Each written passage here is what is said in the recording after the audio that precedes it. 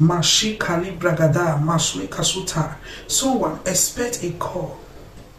That call that you have been waiting for, expect it because God is about to change your life.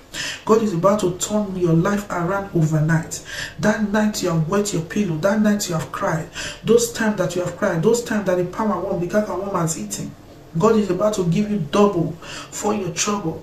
Get ready because in this season you are going to be elevated in the name of Jesus. I declare as an oracle of God, as a servant of God, I declare in the name of Jesus, the word of God says, I shall declare a thing and it shall be established. I declare not by my power, but in the name of Jesus, receive that call that will turn your lives around.